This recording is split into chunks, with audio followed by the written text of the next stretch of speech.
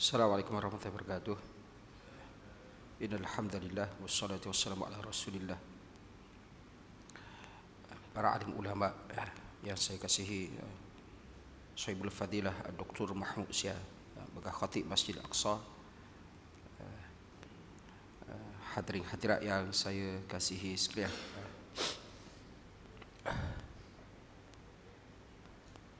Dalam satu hadis yang diriwayatkan oleh Ibnu Khuzaimah. Uh, satu hadis yang juga telah diriwayatkan oleh Ibnu Majah Abi Daud. Uh, satu hadis yang datang daripada uh, Abu Hurairah.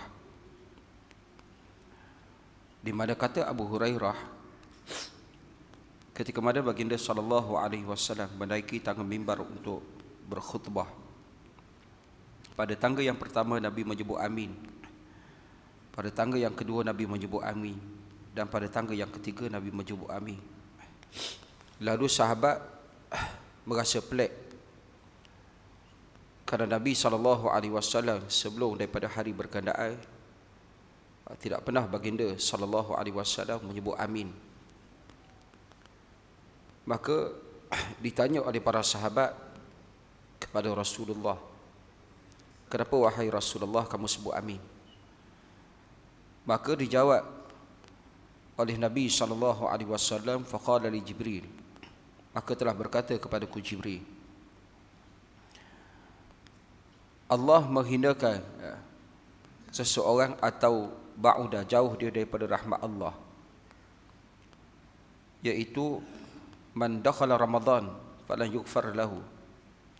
Siapa yang masuk Ramadan dia tidak dapat mengampunan daripada Allah. Fakultu amin. Kemudian kata Nabi, aku aminkan.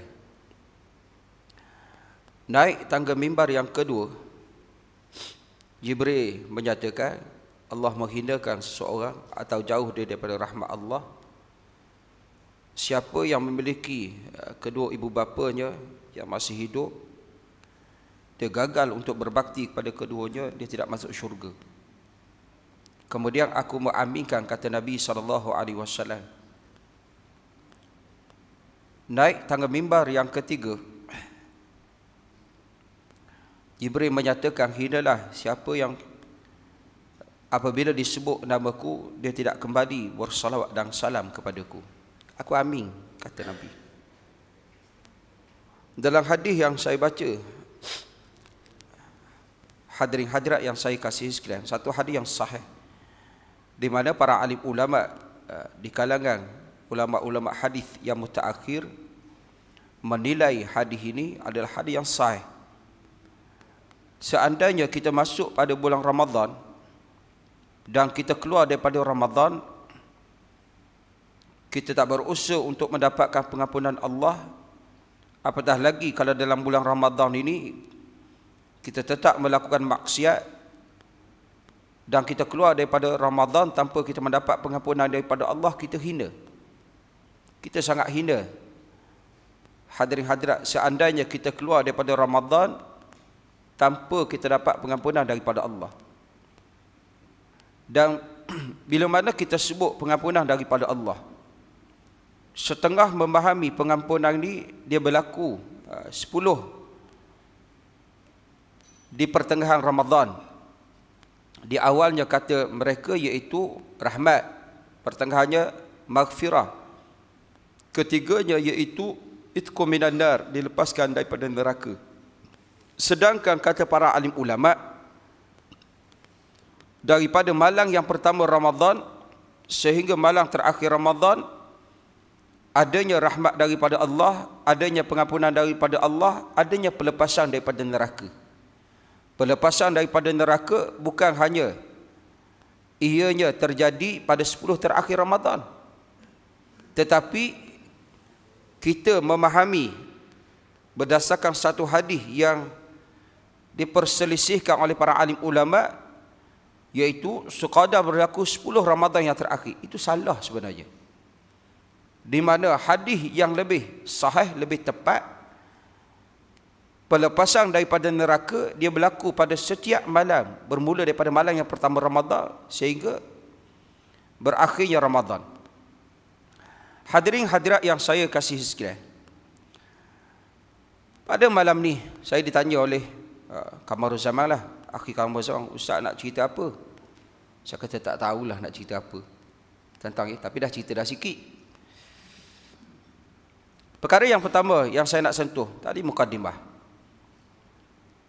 Di mana saya melihat satu kesalahan yang ramai dibuat oleh mereka yang berpuasa ini bila mana mereka berpuasa atau mereka memasuki Ramadan tanpa ilmu. Hadirin hadirat buat satu inisiatif yang sangat baik. Sebelum kita nak masuk Ramadan satu hari, kan ada program Ihya Ramadan daripada pagi sampai ke malam. Penting ke ilmu dan Ramadan? Penting. Saya bawa gambaran untuk saya kata penting ke tak penting ilmu. Saya berhenti bawa orang rumah saya lah dua hari yang lepas kedai makan. Kemudian datanglah budak-budak muda ni. Bawa makwa dia naik motor. Jamu makwa berpuasa. Okey ke tak okey? Tak betul. Kenapa saya kata tak betul? Ramadan ini bukan setakat kita puasa tu termasuk meninggalkan maksiat Ramadan. Kemudian saya dengan rumah saya adalah makanan tu lambat sampai. Sampai juga. Kita nak cepat kerana nak semayang. Dalam keadaan kita nak cepat tu yang maksud dah tujuh lebih dah. Dah tujuh lebih dah apa semua. Tak bergegah, relax je. Hari ini ramai dah buka puasa ni buffet kedai makan apa semua sembahyang maghrib lambat. Sembahyang maghrib lambat. Kadang-kala yang berniaga bazar Ramadan. Bazar Ramadan. Duk kemah barang tu apa semua lapang suku. Tak sembahyang lagi. Betul ke tak betul macam? Tak betul. Bermakna mereka menyambut puasa tanpa ilmu kalau mereka ada ilmu, mereka akan segerakan semayang. Kalau orang ada ilmu, dia tak bawa anak dara orang. Sekalipun dia berpuasa, dia buat macam tu, Allah tak nilai puasa dia. Dalil. Dalil dia. Dalil dia mudah. Dalilnya kata Nabi, Mala yang tak kaula zur wala amila bih. Siapa yang tak meninggalkan perkataan dusta, bohong falaisa lillahi hajatun. Allah tak ada hajat. Allah tak pandang. Kalau bercakap bohong Allah tak pandang. Kalau buat maksiat lain? Ha, cuba bayangkan tuan-tuan. Kalau buat bercakap bohong Allah dah tak pandang. Buat maksiat lagi Allah tak pandang. Tapi kerana tak belajar tak ada ilmu akhirnya itu yang jadi. Okey. Kesalahan yang kedua setengah mereka meletakkan atau mereka menganggap sebahagian daripada ibadah yang mereka buat pada bulan Ramadhan ni sekadar bulan Ramadhan je.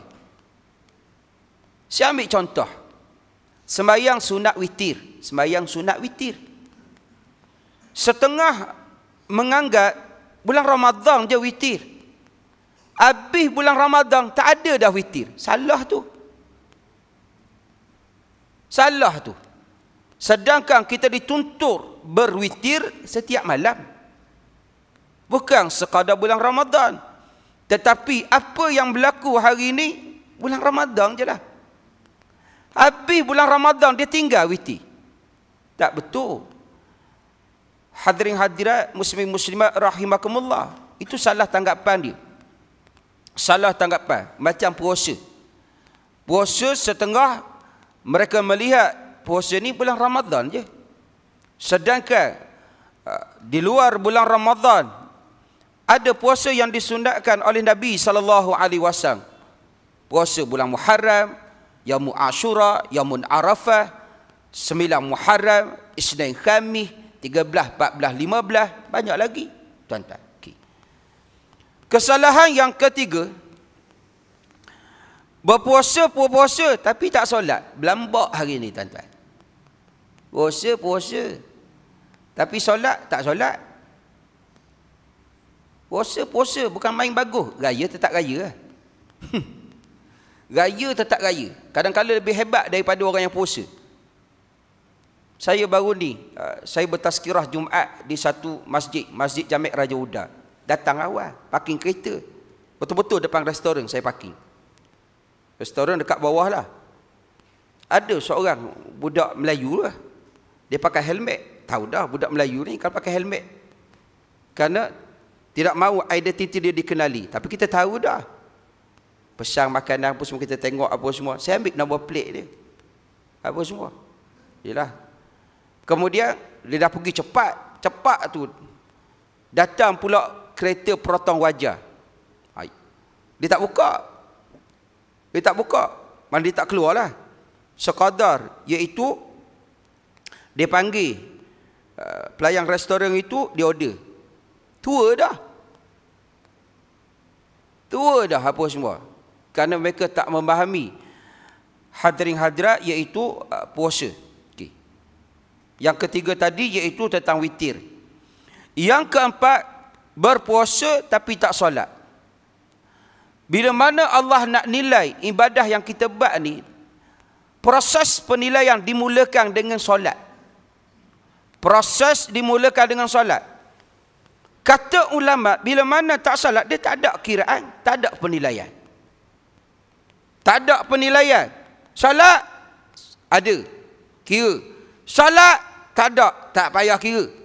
Tapi belembak hari ini macam tu. Okay. Kesalahan yang kelima. Berpuasa, berpuasa tapi tak ada kiam. belambak tuan-tuan.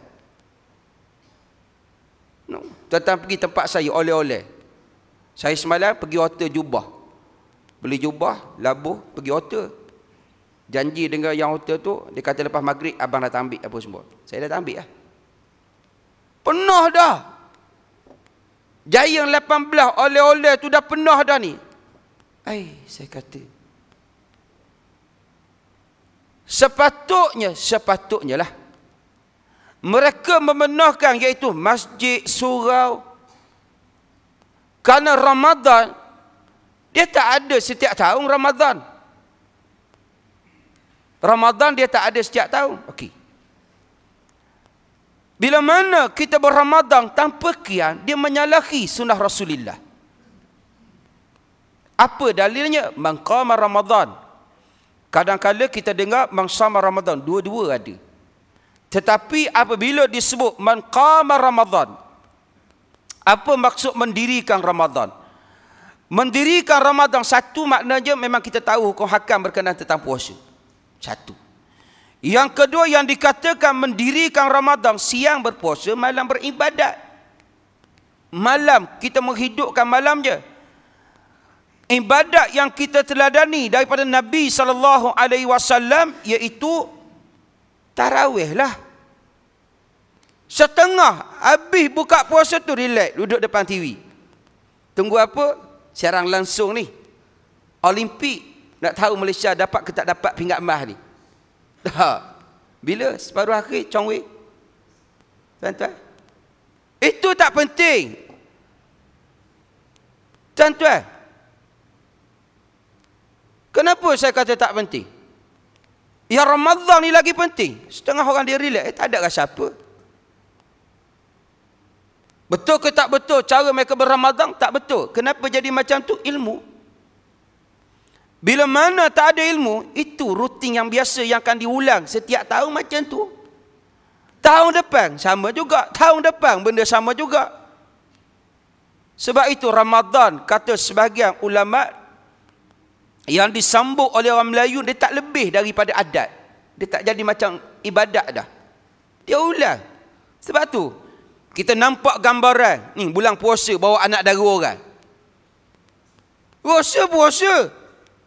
No, pergi jamu awet puasa. Tak, tak. Dia kata bagus, dia kata ustaz, siapa yang jamu orang berkat puasa, maka dia dapat pahala orang yang dijamu tak apa semua. Betul cara tak betul. Tuan-tuan ya, hadirin hadirat muslim muslimat rahimah. Kemullah. Kesalahan yang keenam. Sembahyang, sembahyang. semayang tuan-tuan ya. Dengan Tok Imam Tarawih ni. Bila mana hadirin hadrat lapang rakaat dia pakat balik.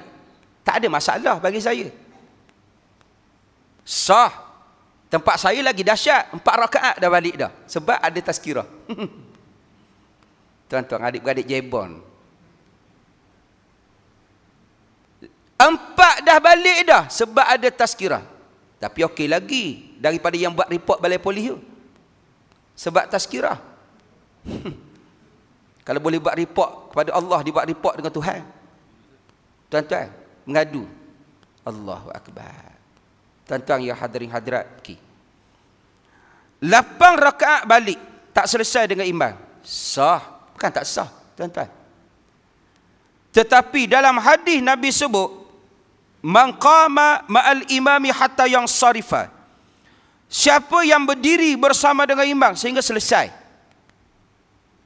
kutiba lahu qiyamul lailah dituliskan untuknya pahala qiyamul hadis sahih maknanya untuk dapat pahala qiyamul lail kita semayang dengan imam kita kena selesai dengan imam. Baru dapat. Bonus lah tuan-tuan. Kan zaman musim bonus ni kan? Ke tak minat bonus tuan-tuan? Hmm. Allah nak bagi bonus orang tak nampak. Cuba tuan-tuan perhati saya bawa bonus yang lain. Sembahyang isyak berjemaah. Bonus dia hidupkan separuh daripada malam sembahyang subuh berjemaah hidupkan malam keseluruhannya kan mudah mudah hadirin hadirat muslim muslimah rahimah kumullah okey kemudian dia balik Budak-budak muda saya tak bersangka baik eh.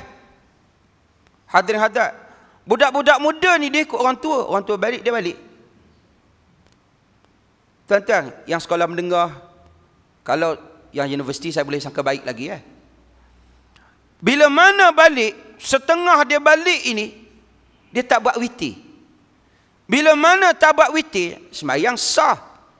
Tapi tak lengkap. Tak comel kata orang. Kerana penutup kepada semayang malam witir witir timbul pula cerita ustaz boleh ke tak boleh buat dah buat witir dah saya soalan tersebut banyak orang tanya saya kata tahun depan ni kau tanya lagi. Boleh ke tak buat witir? Dah buat witir dah ustaz. Nak buka lagi sekali ni. Hati nak buat witir, nak buat lagi sekali. Macam mana nak genap ke satu rakaat, kemudian kita buat witir kali kedua. Saya kata saya pilih pandangan yang menyatakan semayang eh, tapi tak ada witir kali kedua. Itu pandangan yang saya pilih. Saya tak nafi ada pandangan ulama sebenarnya yang disebut oleh al-imam tirmizi ada di kalangan ulama yang menggenapkan witir satu rakaat kemudian mereka buat witir kali kedua tapi bagi saya saya pilih pandangan yang menyatakan sembahyang eh, tapi tak ada witir kali kedua tak ada witir kali kedua okey perkara yang keenam iaitu berkenaan Lailatul Qadar. Yang power tu lepas azan, tuan-tuan. Yang saya nak sentuh, tuan-tuan hadirin hadap, klimak dia lepas azan baru saya nak sentuh. Ini nak cerita yang sikit-sikit. Masuk dah? Okey. Perkara yang keenam iaitu berkenaan Lailatul Qadar. Saya nak buat satu analogi. Tuan-tuan orang cerdik kan? Saya nak buat satu analogi. Kerajaan umum kita dapat bonus setengah bulan gaji. Saya tak dapat. Tentuan yang dapat. Katakanlah gaji RM10,000. Dapat RM5,000. Kita yang dapat RM5,000 contoh. Saya tak nak gaji. Bonus. Bodoh ke tak bodoh? Kata Ustaz Azhar kata bodoh. Tuan-tuan. Okay. Apa analogi dia? Allah nak bagi kita satu malam Lailatul Qadar. Allah kata lebih baik daripada seribu bulan. 83, 84, 85. Banyak. Tapi kesimpulan lebih 80 tahun. Kita tak rebut peluang. Kita tak cari. Kita tak berusaha untuk cari Al-Qadar. Malam Al-Qadar ni kita sombong ke tak sombong? Kita sombong ke tak sombong? Kita sombong. Allah nak bagi, kamu tak cari. Nung ada dekat mana? Jahit langsir, buat kuih. Tuan-tuan pergi oleh-oleh SACC komplek PKNS. Saya bukan kata tak penting persiapan untuk raya. Sebab itu orang Arab ni pengalaman saya. Raya dekat Yaman tuan-tuan semayang raya lepas tu habis. Taklah meriah sangat. Tapi raya haji, raya haji, raya korban. Wah, seminggu dah cuti dah. Seminggu dah cuti dah. Saya kata berbeza sungguh. Saya kata. Di sana, semakin nak menuju ke muncak Ramadan, semakin ramai. Di tanah Melayu, semakin nak menuju kepada kemuncak Ramadan, dia semakin susut. Tak tahulah apa penyakit tak tahu. Penyakit dia apa? Penyakit dia tak ada ilmu. Sebab itu kalau orang tanya, dia kata ustaz zaman Nabi tak ada tazkirah. Saya kata ya. Tetapi generasi yang disam, yang dibina oleh Nabi sama tak dengan generasi zaman kita ni? Generasi yang dibina oleh Nabi, Nabi ajar mereka ikut, Nabi arah mereka buat, Allah arah dia buat. Generasi kita ni kita sebut dia buat tak kisah je. Nak nak tengok tuan-tuan. Nak raya ni. Yang perempuan lah. Buat baju. Belah sini, dedah sini, ketat sini, nipih sini. Boleh ke tak boleh? Boleh ke tak boleh? Tak boleh. Di mana? Tak boleh buka hadis. Belajar etika berpakaian, peraturan dia. Boleh ke tak boleh? Bukan daripada Ustaz Zawawi. Tetapi dia tak kisah. Habis macam mana kamu kata kamu puasa? Puasa mengajar apa? Puasa mengajar taat kepada Allah. Sabar dengan hukum Allah. Termasuk selepas Ramadan. Bukan sambut hari raya ni dia belasah je dia nak pakai apa semua. Suami pun lawalah dia kata. Hmm.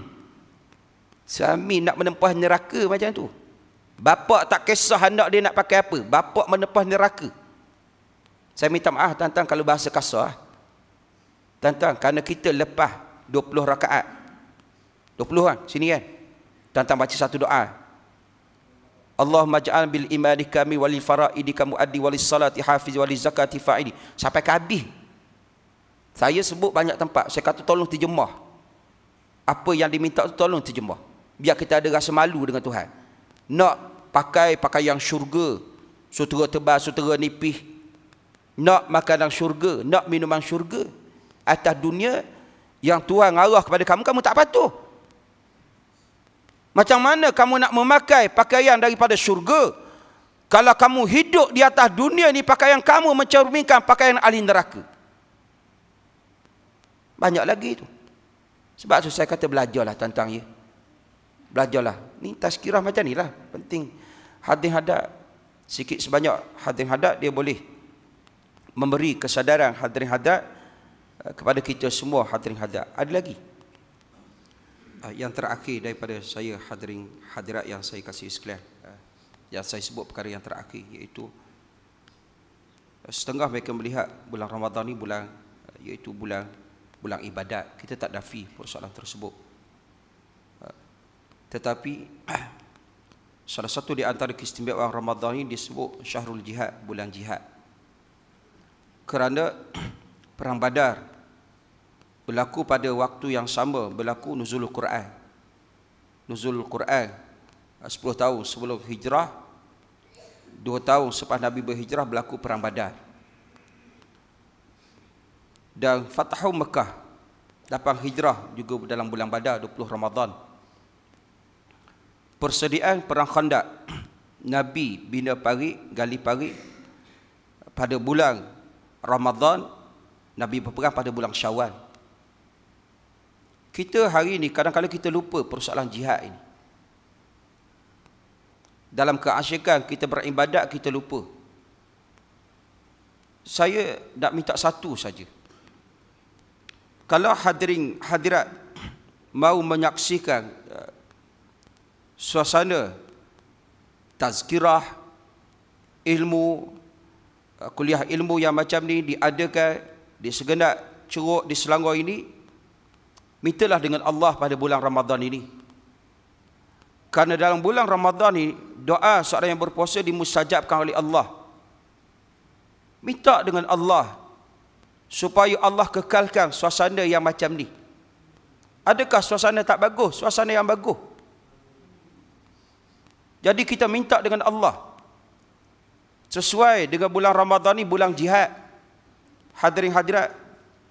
Sebab itu kata Imam Munah Asy-Syafi'i bila mana melepasi separuh daripada Ramadhan jangan kamu bakhil, kamu sekadar berdoa untuk diri kamu sahaja. Kalau lupa, kamu lupa untuk berdoa untuk orang lain. Kita masih ada umat Islam di Rohingya, di Syria yang semakin hari semakin tendat. Yang menuju insya-Allah kepada kemenangan Islam di Syria insya-Allah. Hadirin hadirat. Di Rahia kita tahu yang dinafikan hadirin hadirat nak belajar tak boleh. Dinafikan kerayaatannya hadirin hadirat dibunuh. Cerita bukan bermula sekarang daripada dulu. Di Fatani kekejaman yang masih berlangsung. Hadirin hadirat muslim muslimat rahimakumullah Setengah hadirin hadirat ni mereka sibuk beribadat kadang-kadang mereka lupa. Mereka lupa hadirin hadirat soal jihad. Jihad dia tak boleh lari tuan-tuan daripada umat Islam ini. Daripada umat Islam tak boleh lari. Dulu saya bercerita bagaimana hadirin hadirat ungkapan yang selalu kita ungkap dalam hari raya itu. Satu ungkapan yang pernah diungkapkan oleh Rasulullah ketika mana dibawa kepada Abu Jahal di hadapan baginda sallallahu alaihi wasallam. Yang saya sebut Allahu la ilaha illahu Allahu akbar sadaqa wa'dah wa nasara 'abdah wa 'azza jundah wa hazama al-ahzab wahdah. Kita hadap sedih. Kita orang Melayu ni tak tahulah tentang dia hari raya sepatutnya hari yang seronok. Hari gembiranya hadir hadap umat Islam ni. Allahu Akbar hadirin hadirat muslim muslimat yang terakhir daripada saya. Tolonglah muhasabah kita 15 hari dah. Berapa dah Quran yang kita baca? Karena bulan aktiviti yang paling utama, aktiviti paling utama Nabi pada bulan Ramadhan. Imam, Imam Mazhab Imam Bukhari, Imam Syafi'i, Imam Ahmad bin Muhammad, Sufyan Al-Thawri bila mana masuk Ramadan Quran. Cuba kita muhasabah. Hadirin hadirat. Sebelum kita bercerita benda lain, kita muhasabah sedikit dulu bagaimana aku dan Quran bulan Ramadan ni. Berapa dah yang aku dah baca? Kalau tak baca, masih tidak terlambat. Bacalah Quran. Hadirin hadirat dan sediakan rumah kita untuk kita menerima kedatangan malam Al-Qadar. Tak payah karaoke, tak ada berbalah suami isteri. Rumah kita dipilih datangnya Sultan Syarafuddin datang rumah kita. Seronok ke tak seronok? Rumah kita malaikat singgah, malaikat jengak, Rumah yang disinggahi oleh para malaikat bermakna lipahan rahmat. Nak ke tak nak tuan-tuan? Nak ke tak nak? Bila mana kita nak, kita kena sedia. Rumah kena sedia. Dahlah tuan-tuan ya hadirin hadirat. Berhenti sekejap. Kalau tak boleh. Banyak hari pun 10 hari yang terakhir. Biar kita cari benda-benda. Hadirin hadirat. Itulah sekadar daripada saya. Tuan-tuan ya. Saya maaf ada bahasa yang terkasar. Kalau saya tersalah hadirin hadap minta diperbetulkan. Aku luma sami'tum astaghfirullahalazim wa atubu ilaih. Wallahu taala alam. Assalamualaikum warahmatullahi wabarakatuh.